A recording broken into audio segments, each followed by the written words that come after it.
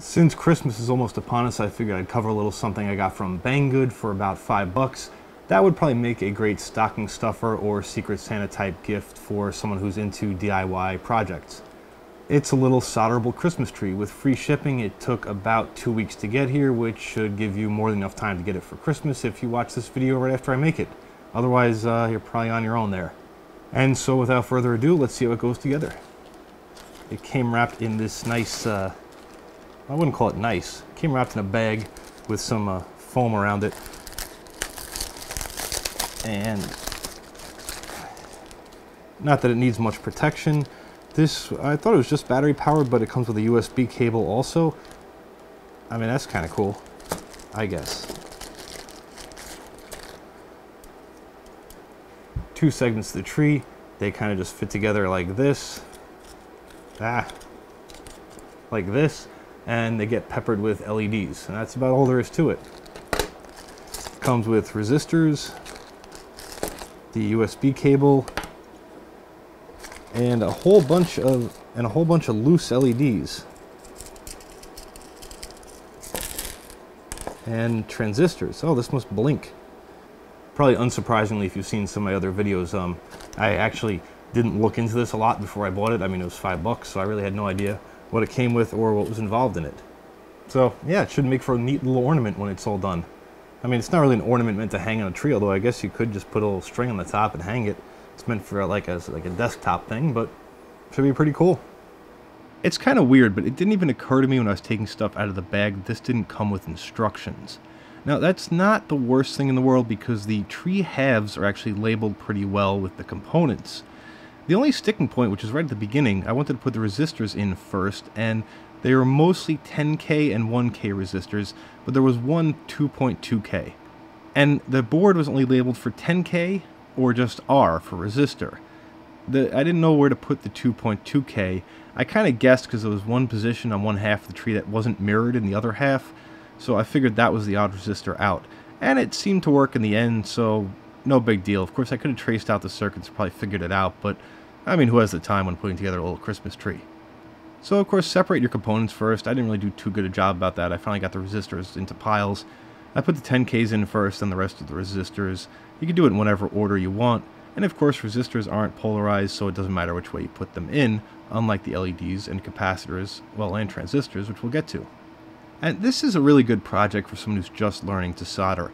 I mean, it's not too complicated, but it's got enough solder joints that you'll really get some good practice and it would probably be relatively easy to troubleshoot because the way it's set up is in groups of LEDs. These are the color changing type LEDs where they change color internally, but the capacitors and transistors are used to change the cycling in segments of the tree so that it doesn't all just look random. It's kind of like patterned as far as it flashes a little more slowly. I think they just drop the voltage a little bit, the voltage comes up.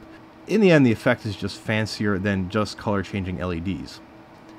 Now, one thing I screwed up also right at the beginning because of lack of instructions, I didn't even look at the product picture on Banggood, which is definitely something you should do before assembling this because that probably would have also solved my resistor problem. But the LEDs are not supposed to be mounted flush to the board. I mean, usually you see LEDs, you see through holes, you figure I'll just push the LEDs all the way through and mount them. I can't really see it here in the video too well, but the LEDs had crimps on the leads, about a third of the way down from the LED itself. And I didn't know what those crimps were for, so foolishly, that's how I mounted them. But really, the point of the crimps was to line them up, because the LEDs are supposed to stick proud of the board by quite a little bit, so that they can be bent outwards at the end. So, um, yeah, when you're putting together, don't mount the LEDs flush. You can use the crimps to gauge the distance. Didn't work out perfectly for all the LEDs, although that could have been me being a little bit sloppy. But the point is, the flush mount ones look a little weird in the end. I couldn't desolder them and put them back because I'd already trimmed the leads, so I was kind of stuck with it. I guess I could have got some new LEDs, but I don't really have color changing ones handy, so it would have looked out of place anyway. Eh, just a minor little screw up. I mean, you can always make that the back side of the tree, and hopefully no one will ever see it. If you make the same mistake I did, which you won't because you just saw this video. If you're new to soldering, one thing you should definitely get, and it's really cheap, is a pair of helping hands. That's what's holding the circuit board in place right there. And it makes it a lot easier because if you have it on the table and it's not held in place, it just sort of like wanders around as you push at it with your uh, soldering pen. And of course, when you have it upside down in the helping hands, the components just want to fall out. So all you do is splay the leads out slightly so that the component can't fall out. And if you really want to be anal about it, and if you're mounting the component flush, which the LEDs are not, you should solder one lead and then just double check it, make sure it can, it's flush, and then solder the other leads so that you don't have to end up desoldering both and jiggling, jiggling it around. The transistors are general purpose S9014 NPNs, and they're all identical on the board, so it doesn't really matter which one you put where. And the board is labeled with semicircles that match the package of the transistor, so you know which way to align it.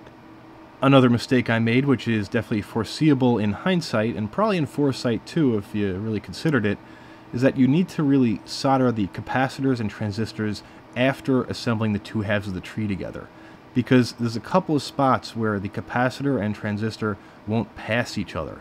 And I'll show you that later when I get to, to that point. I'm, i end up having to take one of the capacitors off and resolder it on the back of the board. Um, not a big deal. Uh, it just makes it look a little odd, I guess, but uh, works fine. So, I mean, again, this is a great thing for learning because you learn from mistakes. And, you know, I'm not a master electrical engineer. I'm not even all that great at soldering, to be honest. But uh, doing stuff like this, making mistakes, making simple mistakes that you can correct on a project like this, is a really useful learning tool. So if you're looking to get this as a gift um, for someone who enjoys soldering or DIY projects, that sort of thing, or a kid who's just getting into it, um, I think it makes a really good first project. That being said, there are simpler and smaller first projects, which maybe would be even better to start with, but uh, like I said, for learning, this is actually pretty good. It would be a lot better with some kind of instructions and guidebook, which I guess I could make, but I'm not going to because I'm kind of lazy. But, uh, you know, you could really get into how transistors work and how capacitors work and their purpose in this circuit, which, of course, you learn nothing about that just putting this together with no instructions. Uh, kind of a downside of just ordering one of these kits direct from China. Maybe there is a supplier that does package a nice instruction booklet and information with it. But anyway, all told, uh, came together pretty easily. You can see right now I'm trying to just figure out what to do with that capacitor and transistor. I ended up bending a transistor out of the way, as well as a capacitor, and then also moving one around the back. Uh, kind of a pain, but uh, like I said, you make mistakes, you deal with them. That's half the fun. And one thing I should note, this came with a battery pack, which is supposed to be mounted underneath. I don't know why I didn't do it when I was first assembling this. I was just excited to get it done, and it had the USB connection, so I jumped right to that. Uh, attaching the battery pack is really no big thing. It's just a red and a black lead, positive and negative, respectively, and they just go into two holes that are labeled battery, positive, negative on the board. So, uh, not much to it. The only thing I have to comment on here is that to connect the battery pack to the base of the tree, there were two screws. Now, there's no threads on either the battery pack or the base of the tree, and no nuts, so you can't really screw them into anything. I just pushed them through and then blobbed a bunch of solder on the threads and that acted, I guess, kind of as a nut or served the purpose of a nut and held it together quite nicely. So um, that's my tip for you if you run into that situation. In fact, in most any soldering project like this, if you need to attach a screw to something and there's no threads, but there's a through hole, just push the screw through and blob some solder on the end of it. It'll work really well. It could just be a little fiddly to get it lined up, but other than that, uh, it's pretty good. So there's the tree, um, lit up in all its glory. It doesn't do all that much, you know. It's not like it's not like a cool robotics kit, but uh, I really like it. It, it looks great. Um, I gave it to my wife as sort of an early Christmas present because that's the extent of the decorations around our house, and she really liked it. Uh, she thought it was thoughtful. You know, it came from the heart. I actually went to some effort in putting together. Uh, so yeah, you know, earn some earn some brownie points if you want to buy this for yourself and put it together and give it to someone. And so yeah, pretty neat and enjoyable little project. Actually worked on the first try, so that's pretty cool. Um, despite my one little screw up, uh, looks quite nice, especially from this angle. Yeah, neat. I definitely recommend it for uh, anyone who's into this sort of thing, except for the lack of directions, um, but you can follow along with this video, I guess, and uh, yeah, pretty cool. For more videos like this and videos not all like this, check out my channel, subscribe if you want, or don't, entirely up to you, and uh, thanks for watching.